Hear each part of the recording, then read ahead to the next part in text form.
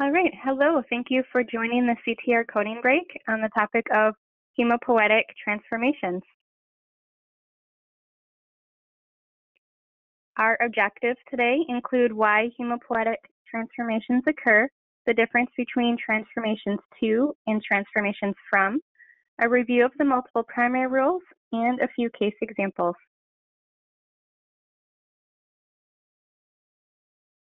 Hemopoietic malignancies are cancers of the blood-forming cells, while hemopoietic neoplasms encompass a wide range of blood disorders.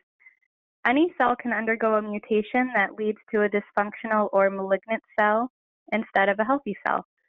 Depending on what stage of differentiation the cell is in when it makes the transformation, this will generate different types of disorders such as myeloproliferative disorders, leukemias, lymphomas, and myelomas.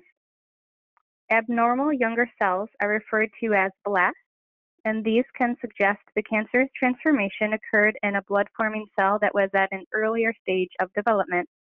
If the cells are more mature, then this suggests the transformation happened to a more mature cell.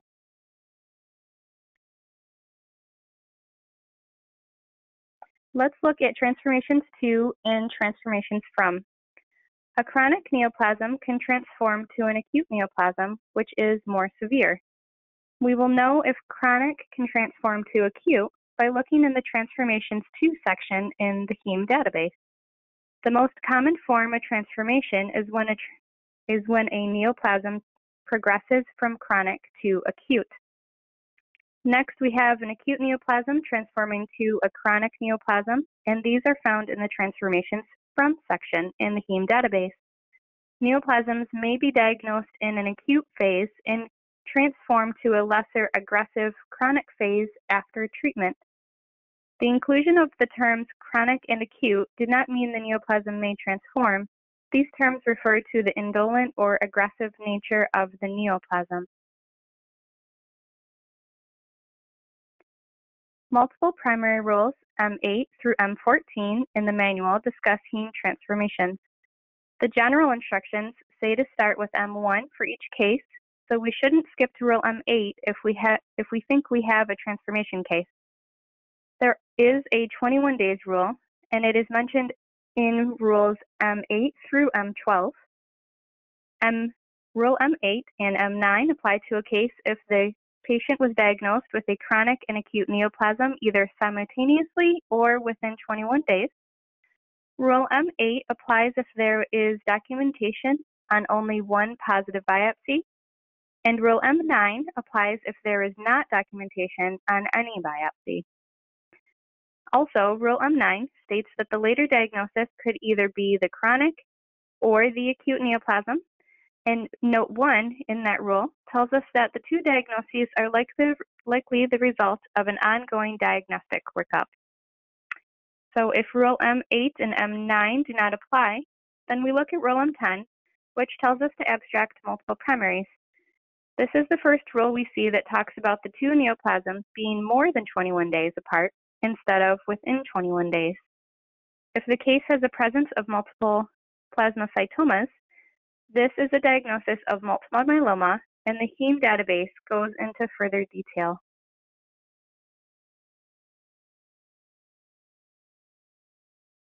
So going further, Rule M11 is within 21 days, but it tells us to abstract multiple primaries because there is a positive biopsy confirming the chronic neoplasm and another confirming the acute neoplasm.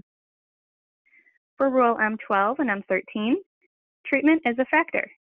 It is important to determine if the patient received treatment for the acute neoplasm. If the patient was treated, then Rule M13 applies, and we will abstract the chronic neoplasm as the second primary. But if the patient was not treated for the acute neoplasm, then Rule M12 would apply first, and we only code the acute neoplasm.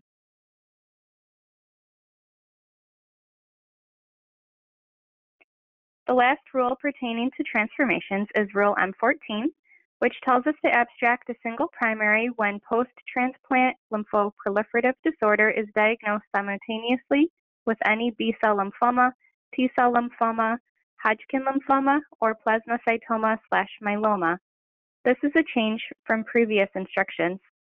As of 2021, post-transplant lymphoproliferative disorder without an associated lymphoma or plasmacytoma is a behavior code of 1 and is no longer reportable. So with that, let's take a look at a few case examples.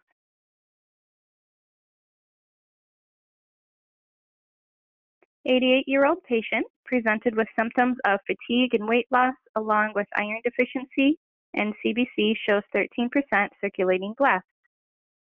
1122 bone marrow biopsy showed a high-grade myeloid neoplasm with 17% blasts on aspirate smears, and the comment stated myelodysplastic syndrome with excess blast 2, which may be transforming to an acute myeloid leukemia. 4-1522 bone marrow biopsy showed acute myeloid leukemia with myelodysplastic related changes.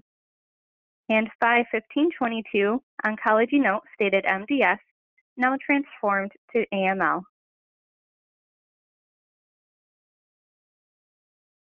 When working through this case or cases, our first step is to determine the working histologies. The HEME manual tells us to use the HEME database to identify the working histologies. The database show myelodysplastic syndrome with excess blasts is morphology code 9983-3, and AML with myelodysplastic related changes has a morphology code of 9895-3.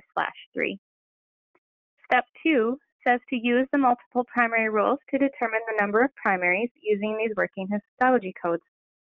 So after moving through the rules, we would stop at rule M10, if we wanted to know for sure, we are instructed to use the database again to check the transformations to and transformations from sections.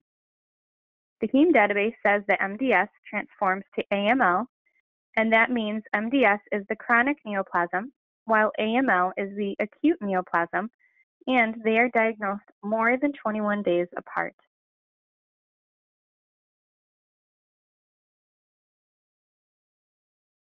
For case example number two, we have a 70-year-old male presented with facial swelling for six days. 10 15 21 CT showed 6 centimeter aggressive soft tissue mass.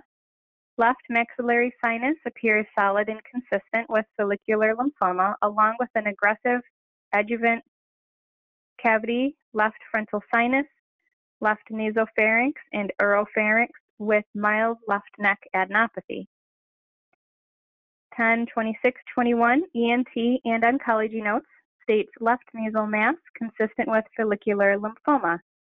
And then on 11, 1, 21, there was a left soft palate and left sinus biopsies. Both showed diffuse large B cell lymphoma. The bone bone marrow biopsy was negative.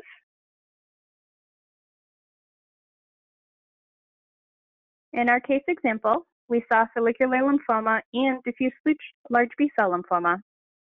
If we skipped the multiple primary rules in the HEME manual and went straight to the HEME calculator, the result would tell us to abstract a new primary for the diffuse large B-cell. However, going to the HEME database to use what we have and then going to the rules are the correct steps.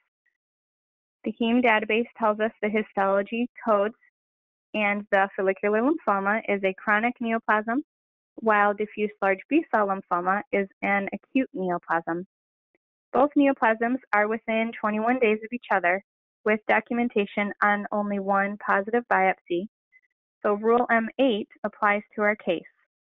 Rule M8 Note 1 says that when these diagnoses happen within 21 days, it is most likely that one diagnosis was provisional and the biopsy identified the correct diagnosis. So then we would abstract the acute neoplasm. I wanted to provide a what if scenario as well. If both of these histologies found in the same one biopsy with no other biopsies, we would have stopped at rule M4 because they were both non-Hodgkin lymphoma in the same location in the same biopsy.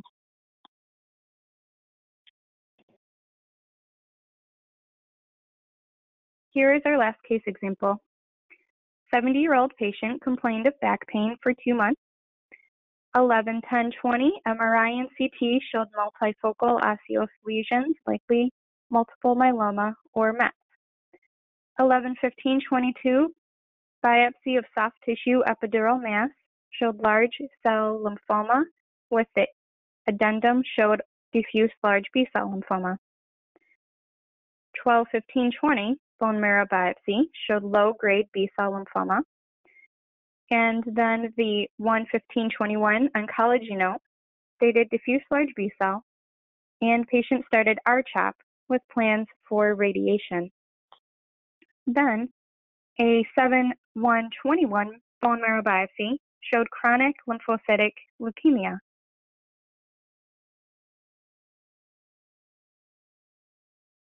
First, we will look at the heme database to see what we have. Diffuse large B cell shows no transformations to, which means it is an acute neoplasm and transforms a chronic neoplasm. Once the patient received treatment and was retested, there was no evidence of diffuse large B cell. However, there was evidence of chronic, less aggressive neoplasm of CLL. So we will stop at rule M13 and abstract multiple primaries because we have an originally diagnosed acute neoplasm that reverted back to a chronic neoplasm after treatment. And this wraps up the CTR coding break.